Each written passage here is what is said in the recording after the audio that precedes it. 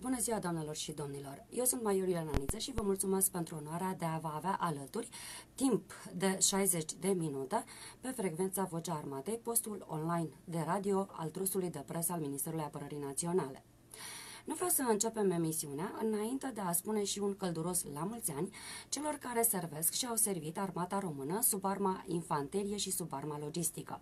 Astăzi, de ziua celor două arme, noi vă urăm să rămâneți aceiași profesioniști și camarazi de nădejde. La mulți ani!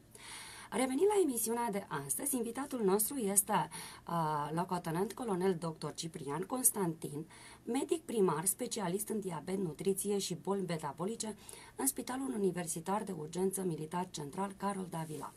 Bună ziua și bine ați venit în emisiunea noastră, domnule doctor. Bună ziua, bine v-am găsit. La mulți ani colegilor mei că uh, începutul de carieră a, încep, a însemnat o brigada 1 logistică la momentul acela. La mulți ani. La mulți ani. Eu vreau să spun câteva cuvinte despre dumneavoastră și despre cariera dumneavoastră și apoi să intrăm în subiectul uh, emisiunii de astăzi, diabetul și această pandemie COVID. Ați fost comandant de spital de campanie la batalionul 5 Medical Ploiești. Brigada 1 Logistică, da. Brigada 1 Logistică, apropo de ziua Armei da. Logistică da. de astăzi. Secretar executiv pentru Fundația pentru Alimentație Sănătoasă. Aproape 10 ani de zile. Pași, felicitări. Competență în ecografie generală, cercetător științific gradul 3, cercetător postdoctoral cercetare în cadrul proiectului european CERO, expert pentru programul de burse Marie Curie, expert pentru programul Orizont 2020 la Comisia Europeană din uh, Bruxelles, Belgia. Medic șef compartiment diabet, diabet, nutriție și boli metabolice, iar lista cu activitatea și pregătirea noastră profesională poate continua, eu pot citi toată ora. Dar se spune că sunt 20 de ani. Eu. Da. da. Uh, domnule doctor, de câteva luni, planeta se confruntă cu această mare pandemie COVID. Iar în urma cercetărilor a reușit că cei mai afectați de virusul SARS-2-CoV-19 sunt pacienții cu patologii și comorbidități, printre care uh, cei mai expuși sunt cei care suferă de diabet. Dar puțin știu uh, ce anume este diabetul, de câte tipuri este el, care dintre aceste tipuri de diabet sunt cele mai periculoase și reprezintă cele mai periculoase patologii în fața acestui virus. Și haideți să o luăm cu începutul. Ce este diabetul? Um, haideți să legăm discuția noastră despre uh, cu COVID-ul, uh, că uh, COVID-19, această, această pandemie ne afectează pe toți. Uh, Ehm, cercetătorii din China, eh, studiile recent publicate, au arătat că acolo eh, erai mai expus ehm, ehm, în a accede, în a fi eh, tratat în terapie intensivă sau respectiv avea un risc mai mare de mortalitate dacă aveai boală cardiovasculară, hipertensiune, afectarea cordului și respectiv diabet zaharat. Trecând în Europa, la ceva vreme, s-a constatat că între factorii aceștia de risc pe care, care te expun accesului în terapie și respectiv decesului, eventual, Uh, s-au modificat un pic aceștia, astfel că dacă acolo în China uh, populația uh, avea doar, doar diabet și respectiv al cardiovascular, în Europa a trecut în față și obezitatea, astfel că s-a creionat o triadă de factori, nu doar diabetul zaharat, s-a creionat boala cardiovasculară, diabetul zaharat și sau și obezitatea.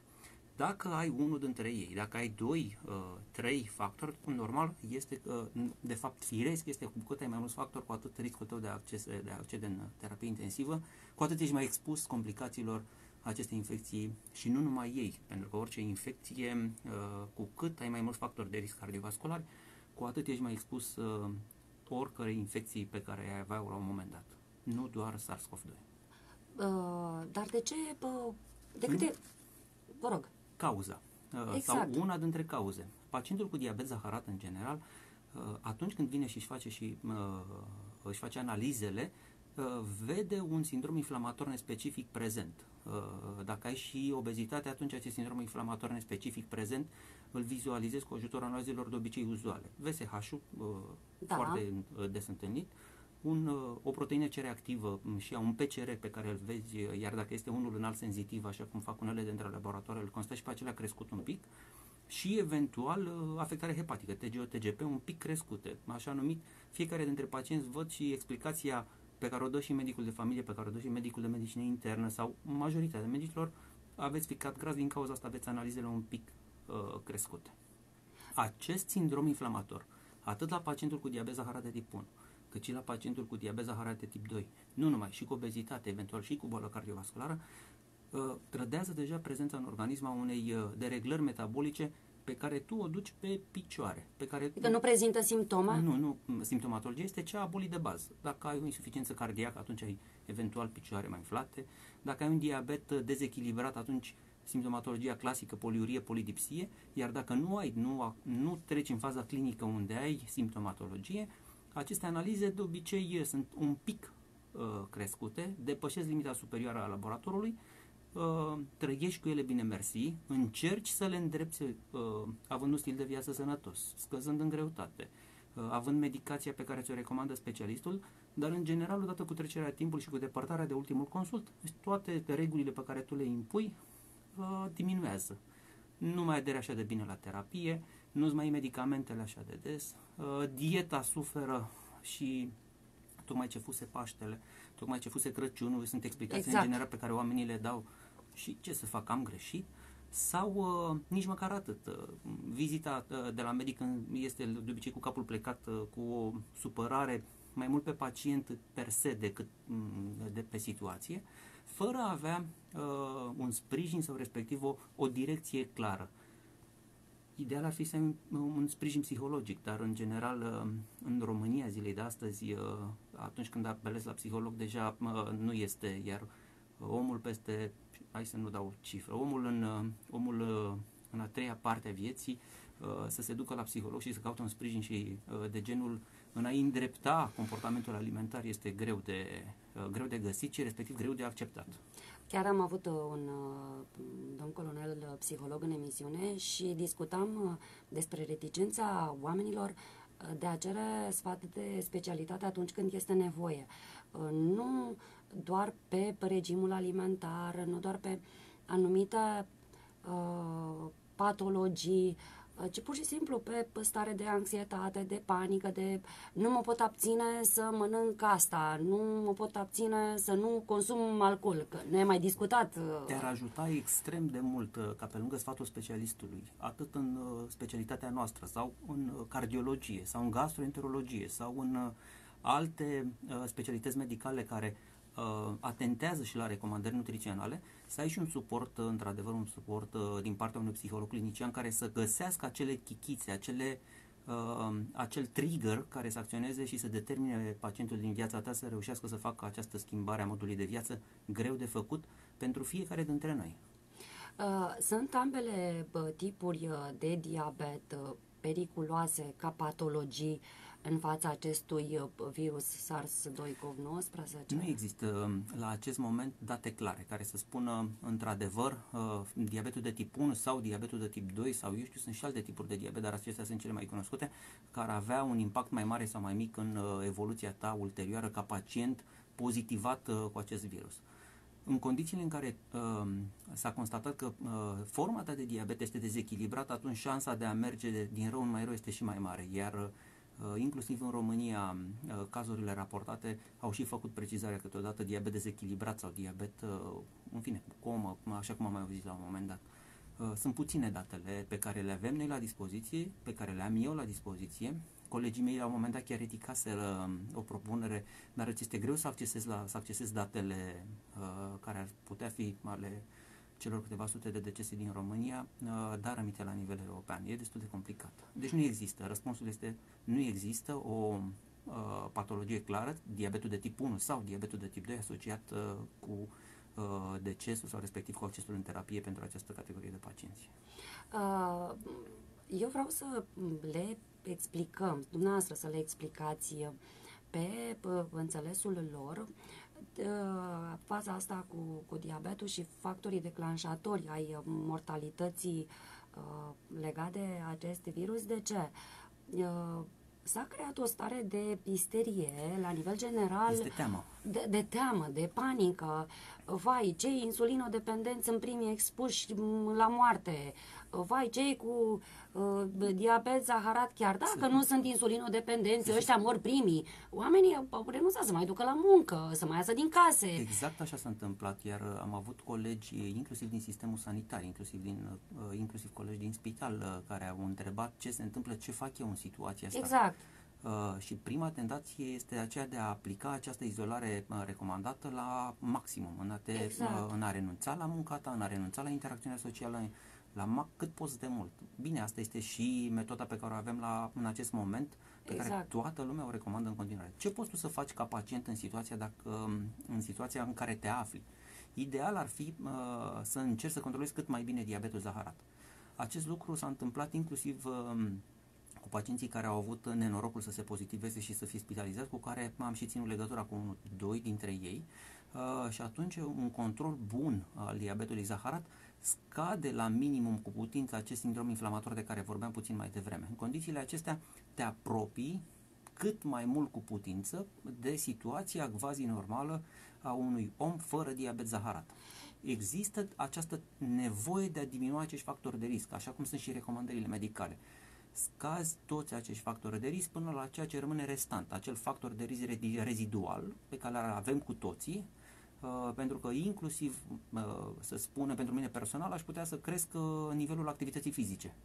Uh, și atunci atunci acel factor de risc l-aș duce la minimum cu putință. Factor de risc dat de vârstă, de interacțiunea în mediul uh, sanitar, de uh, uh, contactul uh, cu uh, potențialii pacienți atunci când a fost nevoie și am uh, fost uh, e- să evaluăm pacienți care ar putea fi infectați. Faci tot ce este posibil, să duci diabetul zaharat, să-l controlezi cât de bine este, uh, cât de bine se recomandă medicul, cât de jos se poate, apelezi la recomandarea medicală, intensifici tratamentul și nu numai acest lucru. Adică, uh, diabetul zaharat este un aspect. Boala cardiovasculară cu tensiune arterială este acel de-al doilea aspect. Exact. Uh, eventual, aportul alimentar este cel de-al treilea aspect, iar chestia clasică legată de efortul fizic, eventual de cele 8 ore de somn și așa mai departe, sunt alte aspecte pe care nu cred că a avut timp și nici nu le-a uh, studiat foarte mult, uh, nu s-au studiat foarte mult în contextul în care uh, oamenii mor când uh, ajung în terapie intensivă. Păi, a, chiar asta vreau să vă uh, întreb. Cum pot controla uh, pacienții diabetul zaharat în această perioadă de pandemie? Pentru că, uh, într-adevăr, dumneavoastră ați păstrat legătura cu pacienții dumneavoastră telefonic, uh, pe mm, sistem electronic, uh, le-ați uh, furnizat în continuare rețete, medicația necesară, însă ține foarte, foarte mult de ei. Uh, și ați menționat mai devreme regim alimentar echilibrat, uh, în afară de regimul alimentar echilibrat, uh, cele 8 ore de somn, medicația ar mai putea fi ceva în plus uh, prin care ei să controleze și să mențină. Au existat diverse teorii, iar uh, unii dintre noi au apelat la ele. N-aș vrea să spun că sunt mituri uh, și aș, în fine, să menționez numai aportul de vitamina C. Uh, Exact. uh, Să menționez uh, aportul de suplimente alimentare bogate în vitamina C sau uh, diverse medicații. La un moment dat uh, uh, se făcuse aglomerație în farmacii, uh, având în vedere, uh, eu știu, paracetamolul, plachenilul, uh, Da, uh, da, da. medicații care uh, fiecare vrea să o aibă acasă în, con- în contextul în care s-ar fi infectată, să fi luat ceva în perioada simptomatică. Nu sunt, uh, nu sunt uh, nici susținute și nici uh, recomandate și sper să fiu clar înțeles. Nu vă apucați să faceți uh, acest lucru înainte, Doamne ferește, de a avea nevoie de S-a uh, tot suport medical. recomandat pe social media și fel de fel de specialiști, care mai de care. Am primit inclusiv, uh, fiecare dintre noi am primit uh, pe telefon. da, uh, da, da. Luați, cumpărați. Vitamina aveți- C și paracetamol preventiv. Luați și beți. Nu, sunt antiinflamatori și mă, n-ai, uh, nu, aduc, nu s-a demonstrat, uh, nimeni n-a arătat că aduce un plus așa ceva. Uh, Luați și uh, cumpărați, luați și uh, beți, luați și tratați-vă înainte de a fi bolnav. Nu există. Mai este încă, un, nu știu dacă este sau nu mit, asta rămâne să-mi spuneți dumneavoastră, uh, consumul de dulciuri. Pacienții cu diabet, indiferent de tip, nu au voie să consume absolut deloc bă, dulciuri. Asta ar uh, accelera practic procesul uh, Nu, uh, bolii. există, nu. Uh, atâta timp cât diabetul zaharat este echilibrat, în special diabetul zaharat de tip 1, dacă reușești să înțelegi foarte bine curba pe care o descrie carbohidratul pe care îl mănânci, că- dulcele pe care îl mănânci, uh, cu creșterea valorilor glicemice și respectiv insulina pe care o folosește în general la pacientul cu diabet de zaharat de tip 1, deci da. cel care este insulinodependent, pacientul slăbuț, pacientul care are o vârstă tânără atunci când debutează, când este uh, când este subiect a fi uh, pentru această boală, în contextul acesta el poate ajunge la un control destul de bun și înțelege foarte bine uh, și chiar are nevoie de dulce, pentru că uh, în contextul acesta uh, nivelul caloriilor de 2500-3000 de calorii dacă e sportiv, îl completezi și cu aport de uh, alimente așa zis dulci, uh, fructe, uh, foetaje, uh, dar trebuie doar să înțelegi foarte bine uh, să înțelegi foarte bine curba acestor uh, eliberării acestor glucide la nivelul uh, organismului tău, să ai insulina necesară și eventual pompa uh, de insulină, pentru că statul român îți pune la dispoziție pentru diabetul zaharat de tip 1 în anumite condiții este într-adevăr uh, uh, această, această, acest program se derulează, dar îți pune la dispoziție și pompă și senzor și în condițiile acestea aproape ai o viață, o viață quasi normală cu un pancreas așa zis artificial exterior, adică și pompă și senzor uh, cu pompa augmentată este denumirea științifică, pancreas artificial între ghilimele folosit câteodată către pacienți. Și atunci, uh, da, ai nevoie și de glucide, ai nevoie și de alimente uh, de altfel interzise, care funcționează la rubrica interzis. În schimb, la pacientul cu diabet zaharat de tip 2, uh, la care de obicei epuizarea pancreatică și respectiv insulinorezistența sunt mecanismul, o îngemânare a celor două constituie mecanismul principal al diabetului zaharat, la aceste categorii de pacienți uh, aportul de carbohidrați este de obicei limitat. Ai uh, nevoie de carbohidrați, te situezi în acea farfurie descrisă la un moment dat chiar de Michelle Obama uh, cu uh, un procent de 50-55% lipide, 30-35% carbohidrați și 15-16% proteine, dar la limitele inferioare pentru carbohidrați. Deci ai o dietă quasi normală, proteine și lipide relativ mai multe față de Uh, o populație uh, asemănătoare, dar o populație normală, și glucide mai puține, dar glucide cu absorție lentă, glucide care nu se liberează rapid. Deci voi prefera întotdeauna carbohidrații de origine lentă, de, cu absorție lentă, de tip paste, de tip uh, leguminoase, de tip uh, pâine, de tip, nu știu, cereale, uh, față de carbohidrații cu absorție rapidă, de tip fructe și legume uh, ingerate rapid, Uh, de tip uh, băuturi carbogazoase, uh, de tip sucurile, de tip miere, că pacienții vin și întreabă, dar miere am voie? Mierea este 80% zahăr. Exact. În condițiile acestea, voi avea, vei avea voie ca pacient cu diabet zaharat de tip 2 la eventual o linguriță de miere pentru a avea un alt îndulcitor natural uh, în alimentația ta atunci când ești un pacient cu un diabet echilibrat.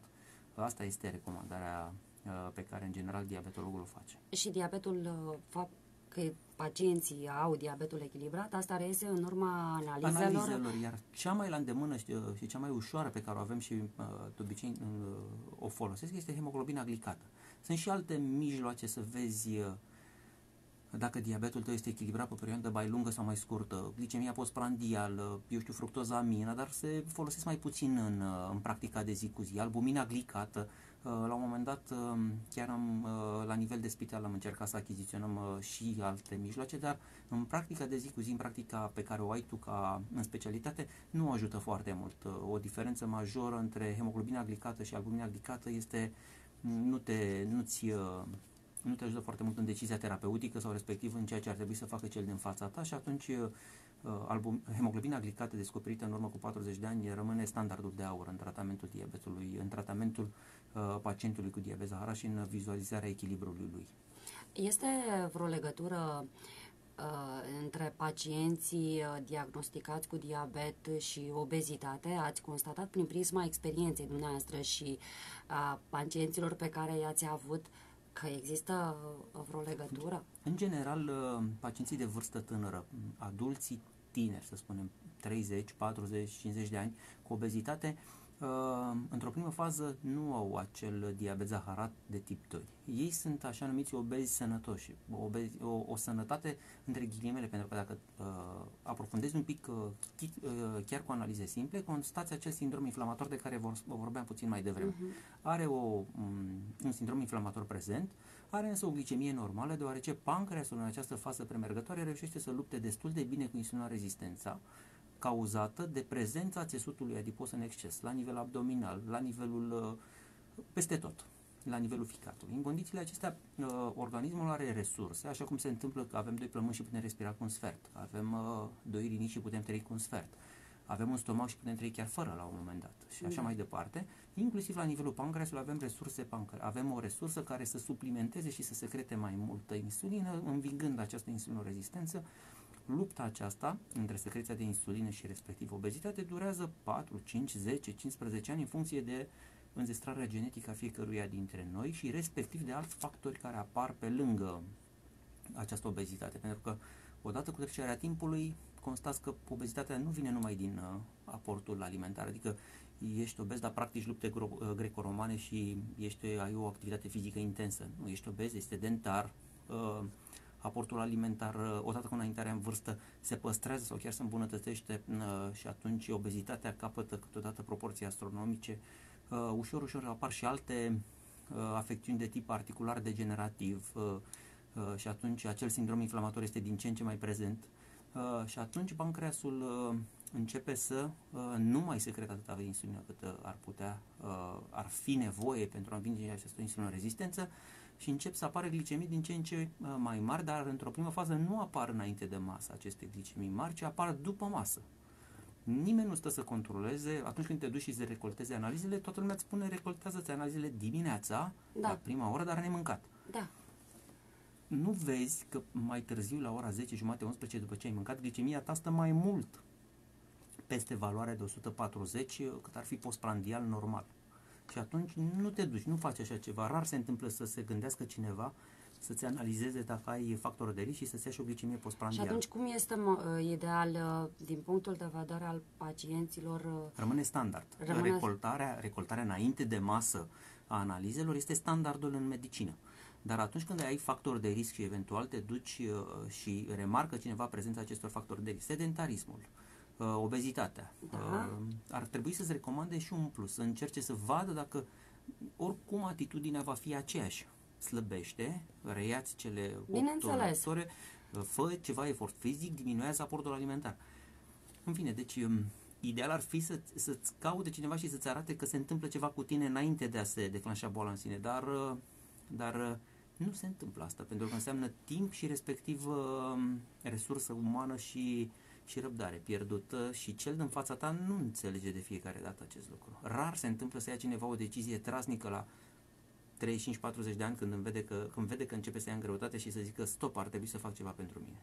Chiar vroiam să vă întreb uh, dacă noi, cei care credem că nu avem de unde să știm cu siguranță până când nu ne facem analizele, că nu suntem predispuși la așa ceva, la, la diabet și nu avem încă această patologie, putem să îl prevenim. Și uh, care sunt uh, cele mai indicate metode uh, de dumneavoastră prin care să putem preveni diabetul? Efortul fizic este cea mai la îndemână. Sportul. Sportul. Sportul acela de întreținere. Aportul alimentar este iarăși la îndemână în, în, jurul, în jurul meu, în jurul nostru, putem compara destul de ușor uh, aportul alimentar uh, și atunci când vezi că depășești um, anumite porții, anumite uh, când te bucuri de o porție mai mare, deja ar trebui să spui întrebarea um, asupra greu, să, să monitorizezi un pic greutatea și să încerci poate să-l ajustezi la început cu finețe, pe urmă să încerci să reduci orele fine, este complicat, nu este... Nu este, nu este cumva și o luptă psihologică, având în vedere că totuși, acum, mai ales în perioada asta de trei luni de zile, au existat și glume și bancuri, cum intrăm în carantină, și intrăm cu, da. da, cu 50 de kilograme și ieșim cu 70, au fost și sărbătorile pascale, suntem bombardați de reclame, cu fel de fel de produse alimentare. Cu toții suntem partea acestei, cu toții suntem partea acestei societăți cum să luptăm, cum să, nu știu, răspunsul uh, cum uh, sau respectiv uh, cum să facem pentru fiecare dintre noi uh, atunci când ne aflăm la masă sau respectiv când uh, ne ducem și cumpărăm de atunci. Chiar am, uh, chiar am rugat una dintre companiile care, care livrează online acasă um, alimente, cumpărătorile de magazin, i-am rugat să încercăm să scoatem o lucrare, să publicăm o lucrare în legătură cu ceea ce se întâmpla înainte de pandemie și după pandemie cu profilul cumpărătorului. Exact. Este, în fine, sunt niște date sensibile pentru că Uh, răspunsul într-o primă fază, să vedem, sper să se modifice, a fost că mm, accesăm uh, date ale mm, clienților și mm, să nu se expună ei într-un fel. Sper să depășim acest impas și să găsim o formulă să vedem dacă, și presupun că există, că dacă ne uităm în profilul nostru, dacă ne uităm fiecare la noi, ceea ce cumpăram înainte de pandemie și ceea ce cumpăram după această declanșare acestei pandemii, vom constata că uh, alimentele și glumele au avut la un moment dat un fundament, au avut, da. fundament în cumpărăturile pe care le-am uh, făcut. Da. Uh, ați vorbit mai uh, devreme, dar eu nu vreau să trecem chiar uh, așa uh, și de asta nici nu am insistat ca să insist acum, uh, legat de pacienții dumneavoastră uh, cu diabet uh, care au fost uh, detectați uh, pozitiv uh, COVID. Ce s-a întâmplat cu ei uh, în această perioadă? Am păstrat legătura cu majoritatea pacienților pentru că, spre deosebire de alte specialități, uh, diabetologul uh, uh, încearcă să colaboreze cu pacientul de câte ori este nevoie, îndrumându-l fie la camera de gardă, fie ajutându-l pe pacient când este internat, dându-i sfaturi asupra um, ajustării tratamentului. Astfel că pacienții care au fost diagnosticați pozitiv au sunat. Iar principala recomandare și fermă recomandare care a fost alături de medicul lor um, a fost de aceea de a duce glicemile într-o zonă uh, aproape de un control cât se poate de strâns. Uh, pacienții cu care am vorbit și uh, care au trecut și prin terapie s-au recuperat, uh, au avut norocul în a se recupera. Chiar vreau să vă întreb ce s-a întâmplat cu ei. Dacă... Uh, s-au recuperat, uh, ultima oară am stat de vorbă cu ei acum două zile și erau mai bine, deci erau spre externare. Uh, le țin pumni în continuare, uh, nu-i nominalizez că nu este frumos, nu, oricum nu este, da, este, este omenește și uh, nu numai alături de ei, alături de toți ceilalți uh, suntem aproape trecând până momentele astea de terapie intensivă sau și de spitalizare. Nu ți este ușor uh, au intrat în panică? În da, da, să știți că um, panica a fost din, uh, din momentul înainte de a fi spitalizat și nu numai de toți, majoritatea pacienților uh, s-au izolat, uh, au încercat o, o diminuare la minimum posibil, o, o, o diminuare la um, aproape spre izolare completă. Uh, au apelat la serviciile prietenilor, la um, Uh, inclusiv rudele, inclusiv cei pe care îi cunosc aproape, um, uh, toată lumea se teme de interacțiunea cu celălalt. Astfel că uh, Uh, probabil uh, nu știu cum va fi să fie după, dar toată lumea spune că va fi altfel și încerc, încerc să, încep să simți uh, acest altfel prin această depărtare pe care ți-o impune recomandarea de un metru și jumătate, de metri, cel puțin. Și cei care bă, au fost internați și care au contactat virusul COVID au avut nevoie cumva și de sprijin psihologic? Nu am intrat în detalii pentru că a fost o conversație relativ scurtă cu dânsii, dar faptul că au apelat la diabetolog uh, și faptul că i-am încurajat deja este un uh, sprijin yeah. psihologic acordat uh, unui astfel de pacient. Da, eu cred că au, da, eu cred că au nevoie. Dincolo de colegii mei, că a fost la un moment dat, toți avem nevoie de un, uh, de un uh, sprijin uh, psihologic în aceste situații. Inclusiv noi, cei care suntem în spatele măștii atunci când îți vine pacientul în, în cabinet, între noi îți acordi un, între noi medici ne acordăm un sprijin psihologic cu un zâmbet, cu o glumă, cu ce va fi să fie, cu toți avem nevoie și până la urmă îți dorești să nu contactezi boala. Asta ne dorim cu toții în acest moment. Uh, vorbeam la începutul emisiunii uh, despre pacienții cu care dumneavoastră ați putut să mențineți legătura telefonică și care nu au avut nevoie de uh, spitalizare și alte intervenții mult mai grave. Și l-ați putut uh, furniza rețetele și medicația prin programul online. La început, la început a fost uh, un pic de bâlbă, dar asta a durat două, trei zile până când uh, ușor, ușor furnizorul serviciilor de sănătate, Casa de Asigurări, și-a dat seama că cel mai bine apelez la această metodă care, pe care sistemul actual de sănătate o susține și respectiv o Uh, fără prezența fizică a pacientului, fără prezența cardului, uh, în condițiile acestea, printr-un tratament cronic pe care îl are deja instituit, uh, 90-95% dintre cazurile uh, cu diabet zaharat ale pacienților deja uh, existent, deja tratați, au putut fi rezolvate. Uh, ce au mai fost noutăți uh, și s-a mai întâmplat și au apelat la servicii medicale, uh, rar s-a întâmplat să fie un pacient care să aibă nevoie de spitalizare sau s-a întâmplat să aibă nevoie de spitalizare și în alt context, al unei hemoragii digestive, al unui infarct.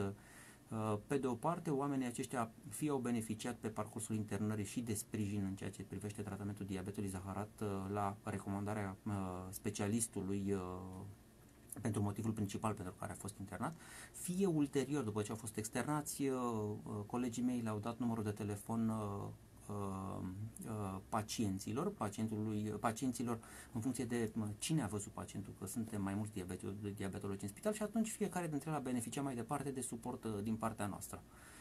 A fost relativ, este relativ ușor, nu cred că este foarte complicat din perspectiva specialității noastre, pe această categorie de pacienți, pe această categorie de patologie?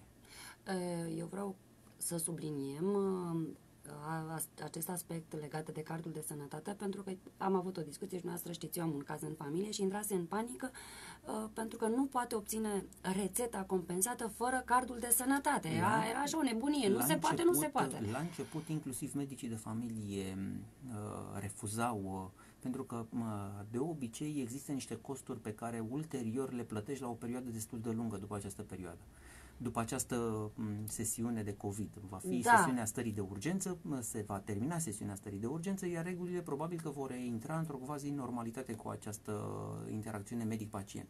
Dar Uh, primele 3-4 zile cât uh, nu ai avut un acces la informație, oamenii s-au temut să prescrie sau oamenii s-au temut să efectiv să recomande medicație și a fost o perioadă de și noi am învățat să fim departe și pacienții au învățat să stea departe la rândul lor. Pentru că uh, inclusiv astăzi au fost 3-4 pacienți prezenți în spital care neavând acces la tehnologie, ne, da. având o anumită vârstă, neavând nepoți, neavând uh, cunoștințe, neavând un suport în familie, au simțit nevoia totuși să vină la spital și mm, au intrat în spital uh, dorindu-se să-și, să obțină tratamentul cu prețul uh, da, măștii, da, mânușilor, expunerii da. și așa mai departe, al violării, uh, stării de urgențe și așa mai departe. În fine, până în alta, oamenii au înțeles și doar discuția simplă a făcut să, să-și dea, să, i-am făcut să înțeleagă că au alte mijloace la dispoziție și Asta a fost să fie, cel puțin la mine. La fel se întâmplă și cu colegii mei, am înțeles, uh, și nu numai în cadrul spitalului, dar și în uh, ambulatoriile de specialitate. Da, da, da, da, da asta cu siguranță. Uh, ați văzut și dumneavoastră că după data de 15 mai se preconizează o relaxare a măsurilor de urgență. Noi nu suntem în măsură să spunem dacă sau dacă da sau dacă nu va mai fi un pericol și acest virus va mai exista. Uh, Uh, însă... Uh, de exista, va mai exista.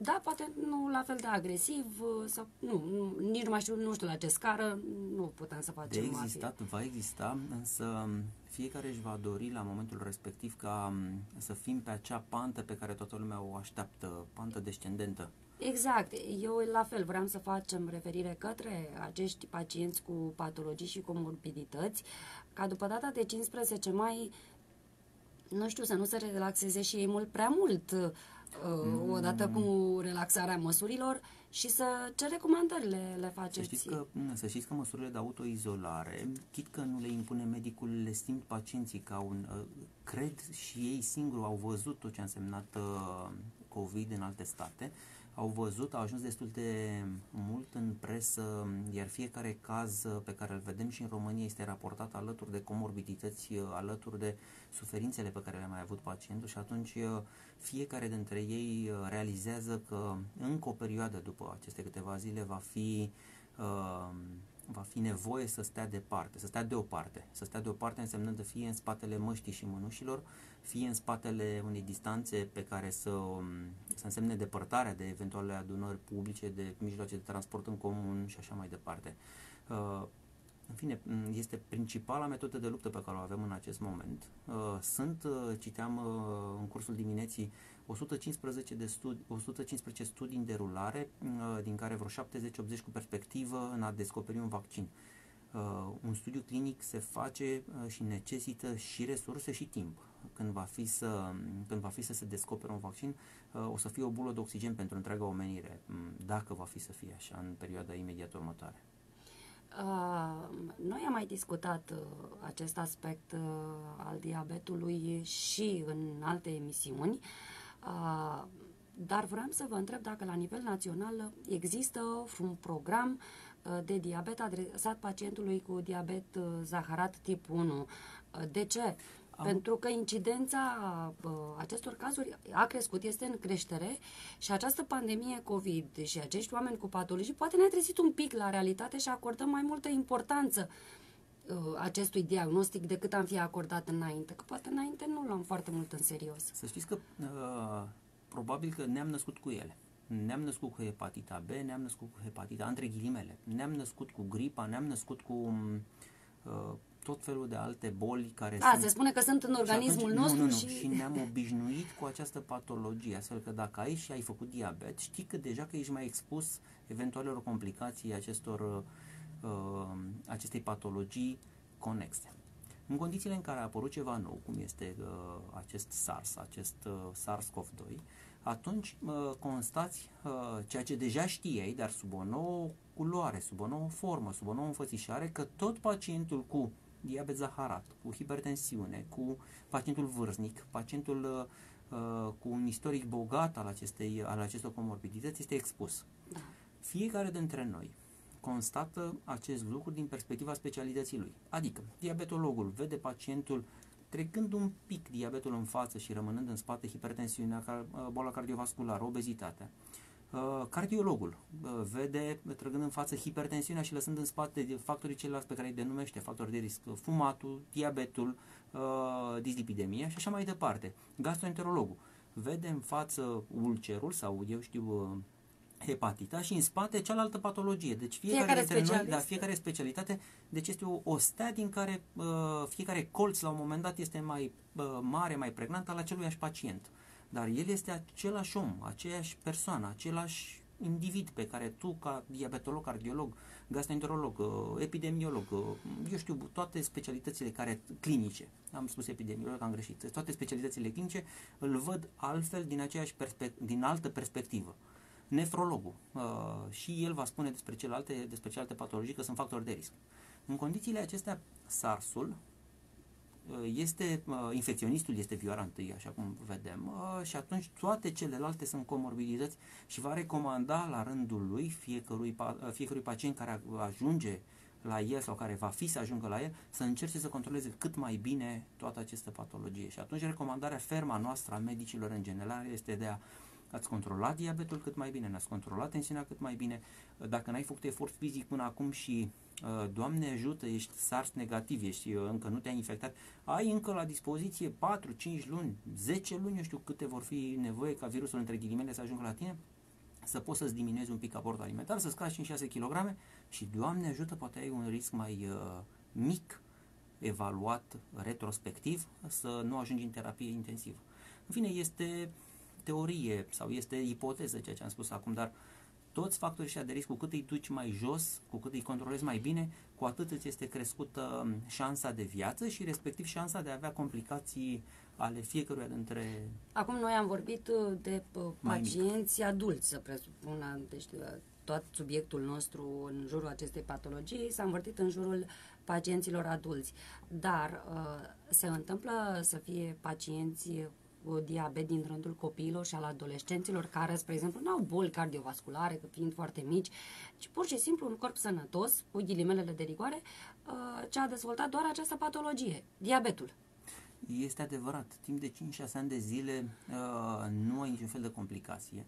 Un alt factor protectiv, între ghilimele, al acestei, uh, al acestei uh, situații este chiar vârsta. Cu cât ești mai mic, cu cât uh, debutul diabetului a fost mai recent, în uh, istoricul tău medical, cu atât ești mai protejat. Uh, astfel că um, și cu cât înaintezi în vârstă, uh, cu atât uh, uh, eventualele complicații uh, sunt mai puțin prezente la un pacient cu diabet zaharat de tip 1. Deci, Uh, să recapitulăm, că poate n-am fost un pic uh, coerent. Uh, vârsta, uh, diabetul zaharat de tip 1, debutat recent, uh, este per se doar diabet zaharat, fără alte complicații timp de 5-6 ani de zile în funcție de controlul pe care îl ai asupra bolii. Ai diabet și atât, altfel spus. Da. Uh, la ora actuală, în cadrul uh, Spitalului Universitar de Urgență Militar Central, există vreo spe- secție specială dedicată uh, pacienților diagnosticați cu diabet pentru a fi internați și tratați pe această secție? O secție specială nu există, dar există un cabinet uh, care funcționează în ambulatorul de specialitate și există medici în cadrul secției de endocrinologie care uh, rezolvă și această patologie. În condițiile acestea, Spitalul Militar Central uh, are uh, medici și respectiv uh, cabinetul de diabet, nutriție și boli metabolice care rezolvă patologia dedicată, patologia de tip diabet, nutriție și eventuale alte boli metabolice, dar o secție specială nu există în Spitalul Militar, o secție dedicată pentru așa ceva. O întrebare legată de nutriție. Uh, pentru că la fel circulă în spațiul uh, public uh, și acum mai ales în perioada asta suntem foarte tentați să accesăm aceste rețete de slăbit minune, care mai de care mai atractive și uh, mai pompoase. Recomandați uh, dieta stabilită de către un nutriționist sau aceste diete ale multor vedete, vipuri, care, eu știu, recomandă până și la înfometare. Chiar citeam un caz că... Da, este uh, fastingul intermitent la modă în ultima perioadă. Da. Uh, nutriția cu rol comercial, cum, uh, uh, cum îmi place să-i spun, are rolul ei. Se cere în piață. În condițiile acestea, uh, așa cum tehnicile de înfrumusețare sunt aplicate de la medicul estetician, uh, medicul chirurgul plastician, până la um, cosmeticiana din colțul blocului. La fel și cu recomandările nutriționale se întâmplă să fie aplicate de către medicul specialist în diabet, nutriție și boli metabolice până la uh, inginerul tehnolog, uh, eu știu, uh, uh, sau uh, in, mm, există uh, inclusiv un curs de nutriționist, uh, mi se pare, care a fost fundamentat de către Ministerul Muncii și uh, atât. Și mm, există, acestă, există această cerere, atunci piața a răspuns uh, printr-o pregătire sumară a celui care îți furnizează serviciul respectiv, cu sau fără succes. Uh, diferența începe să apară atunci când uh, pacientul are patologie, atunci când este, um, apar uh, diversele boli mai rare legate de, eu știu, metabolismul lipidelor, de metabolismul purinelor, de metabolismul fierului, eu știu, uh, de tot felul de alte detalii pe care, vă dați seama, uh, în, uh, într-o săptămână sau o lună de zile cât este cursul adresat Uh, cursul fundamentat de către Ministerul Muncii nu va putea să surprinde sau să facă ceea ce recomandă un specialist în nutriție unui pacient aflat în dializă, spre exemplu. Uh, deci, astfel că um, cu cât uh, piața cere, uh, normal că vor fi furnizate servicii de nutriție la nivel de sus, de la cel mai, cea mai înalt calificată, eu știu, că adresate pacientului în dializă, să spun așa cum vă spuneam mai devreme, sau cu glicogenoze, că dacă glicogenoza nici nu vă sună cunoscut, nu, nu, vă, nu este, nu. este o, în fine, o facțiune metabolică, uh, unde un uh, nutriționist cu um, formare o lună de zile nu va ști să răspundă și atunci uh, Uh, Tocmai de aceea, dar în urma acestor uh, cure de slăbire după ureche și uh, al unor uh, oameni pregătiți, cum spuneați noastră mai devreme cu o lună de zile, uh, pe o perioadă de o lună de zile și care nu cunosc organismul în totalitate, Până și un organism sănătos în urma unei aceste cure poate suferi anumite dezechilibre. Rar se întâmplă pentru că resursele noastre sunt inepuizabile Încă. la un moment dat. Încă. În condițiile acestea suporți. Suporți o dată, suporți de două ori, suporți de trei ori. Uh, N-aș vrea să fiu uh, acid, uh, dar uh, când apelezi la astfel de servicii, cred că și știi la ce te expui. Acum, dacă ar fi să spunem că un medic specialist în diabet, nutriție și boli metabolice poate acoperi toată piața, suntem, nu este, nu se poate. Sunt 700-800 de medici în România, sunt mii de oameni care apelează la, la servicii de nutriție. Unele site-uri se laudă cu kilogramele pierdute. Da. În condițiile acestea nu poți, ca având și diabetul zaharat, având și uh, serviciile în cursul spitalizării, având și uh, proiectele de cercetare ale diabetului zaharat, având și altele, să faci și nutriție de tip comercial.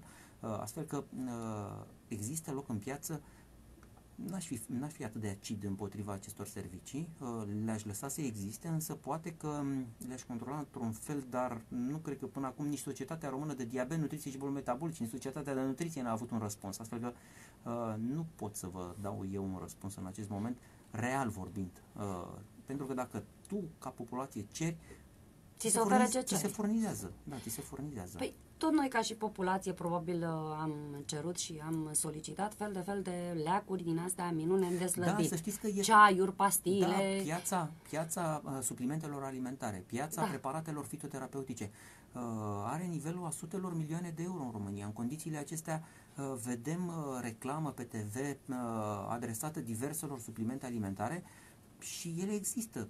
Ele se, sunt acreditate și sunt uh, susținute altfel decât piața medicamentului, au un regim de control mult mai relaxat. În condițiile acestea se vor cumpăra, iar farmacistul îți va spune cât se poate de convins. Exact. Ce luați? Luați, aha, tacaficatul. Asta este principala. Cumpărați da. și. Și atunci ceva face click în, uh, în, uh, în buzunarul tău și cumperi și suplimentul respectiv. Uh, iar când primești, iar când medicul probabil primește întrebarea am făcut bine, n-ai ce să-i răspunzi acelui, acelui pacient, acelui om care întreabă, pentru că nu există un studiu în spatele acelui supliment alimentar care să arate că a adus un plus beneficii, a adus beneficii stării tale de sănătate. Dar există vreun studiu legat de aceste ceaiuri de slăbit de care duduie la propriu piața și nu. aceste pastile de slăbit? Nu, doar efectele pe care le... Atâta, ele se bazează fie pe efectul diuretic și atunci uh, da. te deshidratezi, fie se bazează pe un efect, așa cum sunt cererile recomandate în uh, uh, efect hipoglicemiant, în uh, tratamentul diabetului zaharat și internetul, inclusiv eu primesc uh, zilnic, cumpără, se vindecă, se da, primim da, astfel da, de da, da.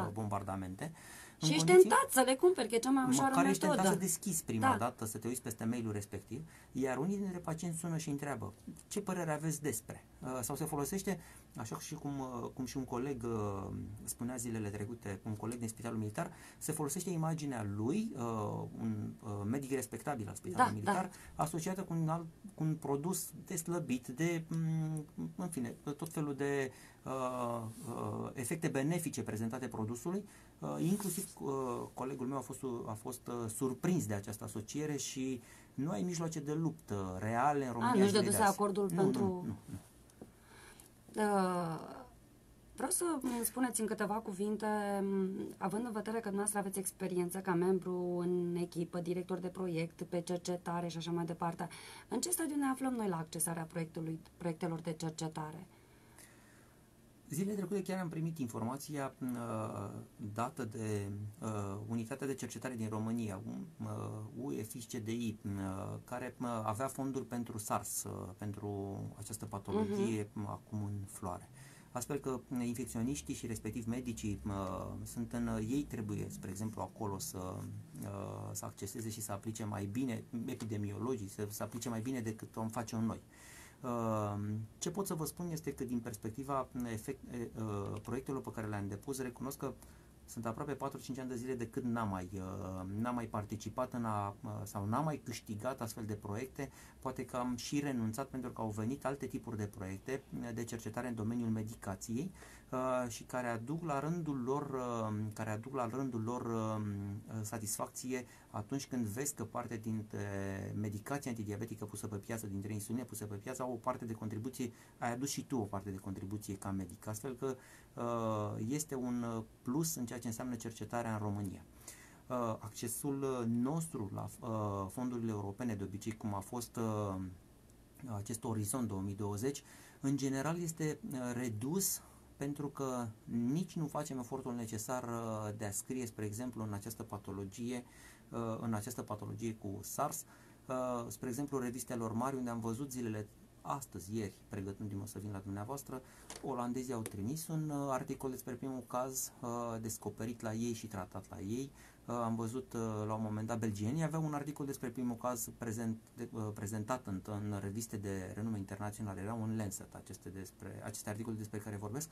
Cu toții știm că primul caz în România a fost în Dolj, în, da, da. Or, în Dolj, dacă mi-aduc bine aminte, în, Clar, în zona Olteniei. În zona Olteniei. Uh, dar să fi văzut din punct de vedere medical ce s-a întâmplat cu omul acela, cum, cum i-au crescut analize, cum au scăzut analize, cât să fie avut cineva răbdarea să se aplece și să publice într-o revistă uh, ori eu la mine n-a ajuns și ar fi explicabil pentru că sunt diabetolog, ori nu am văzut în revistele acestea uh, puternice de care vă spuneam uh, Poate impact. că am fost luați puțin prin uh, surprindere Dar atunci vedeți că și... experiența noastră tocmai pe aceste articole se uh, clădește. Uh, îți dorești să ai uh, să publici în aceste reviste de impact internațional pe care noi medicii le studiem și uh, două nume cred că nu vor supăra pe nimeni, Lancet și New England Journal of Medicine, care sunt reviste de căpătăi în uh, medicina din Europa și respectiv în medicina din Statele Unite, ori să, acces, uh, să te duci să publici acolo, rar se, se, se oprește cineva din treaba de zi cu zi, din consultatul pacientului și să își răpească două, trei ore timp de o săptămână și să scrie un uh, articol de impact, uh,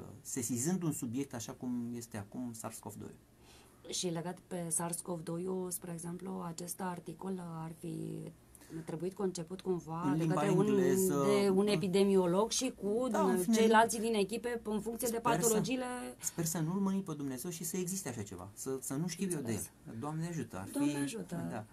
Uh, Dar la nivelul Ministerului Apărării Naționale există vreo politică privind prevenția bolilor metabolice și a complicațiilor acestora? Să știți că m, programul acela de sport pe care îl avem Da, ar fi parte din politica aceasta de, de prevenție a obezității, de prevenție a sedentarismului, de prevenție a apariție, apariției uh, bolilor legate de metabolism. Uh, o altă, o altă um, problemă care ar putea fi asimilată acestei uh, politici de prevenție este respectarea programului de lucru. 8 ore, 8 ore odihnă, 8 ore somn ar trebui cu toții să avem. 8 ore de muncă, așa cum este real uh, uh, programul MAPN-ului, ar putea fi un uh, plus. Și mai este ceva tot uh, care ar putea fi asimilat, dar nu, este, nu cred că există ceva structurat. Uh, uh, analizele care se fac anual. Încercarea de a depista diverse patologii și de a uh, vedea că tu ești uh, apt, uh, conform uh, prevederilor legale în vigoare, este, face parte din, uh, uh, dintr-un program de prevenție, ar putea face parte dintr-un program de prevenție. V-am spus, nu cred că este structurat, dar am enumerat deja trei, Da, uh, da, da. trei direcții. Și acum, uh, spre finalul emisiunii, că eu nu știu când uh, a trecut o oră, uh, un mesaj pentru pacienții dumneavoastră și nu doar pentru pacienții dumneavoastră, ci pentru toți cei care uh, au această patologie și în această perioadă, dar și după 15 mai, ca să încheiem cu aceste recomandări pe care le-am mai făcut la jumătatea emisiunii, dar să și încheiem cu uh, mesajul clar ce pot face ei atât în perioada asta. Bine, mâine este și 1 mai și uh, fine, noi românii avem un talent așa cu 1 mai să uităm Nu numai de noi, mult. cred că, da, nu numai noi, cred că, pentru că m, primăvara și a intrat în drepturi și Exact. atunci ușor, ușor uh, cu toții, m, cu toții aveam... în Ne fine, cam lăsăm seduși de soare, de primăvară și uităm că... Să le pericolul- reluăm. Uh, Dacă uh, ești uh, pacient în condițiile uh, și inclusiv în condițiile pandemiei, controlează foarte bine uh, boala respectivă, patologiile pe care, de care suferi, încearcă să-ți îmbunătățești stilul de viață uh, și mai sunt, uh, eu știu, consumul, cel, consumul lichidelor, apa să fie parte din uh, stilul tău de viață, iar cele 8, 8, 8 uh, să le ținem aproape, 8 ore de somn, 8 ore de odihnă, 8 ore de muncă. Și totuși să nu se relaxeze, chiar dacă se relaxează Relaxarea- măsurile... Da, relaxarea uh, uh, va fi să vină odată, însă uh, să o facă responsabil această relaxare, adică portul măștii și respectiv al mănușilor ar fi extraordinar. Domnule doctor, noi vă mulțumim frumos pentru prezența în emisiunea noastră și pentru informațiile de specialitate furnizate. Știm că sunteți uh, copleșit și că nu a fost chiar ușor să fiți prezent. Uh, eu sper să le fie de folos tuturor celor care ne-au ascultat și vă mai așteptăm și cu altă ocazie în Vă studioul nostru. mulțumesc frumos. Uh, Iar uh, dumneavoastră, doamnelor și domnilor, vă mulțumim pentru atenție. Vă aștept și săptămâna viitoare la aceeași oră, pe aceeași frecvență, cu un alt invitat de elită al societății românești. Până atunci, zile cu soare și primăvară în suflet.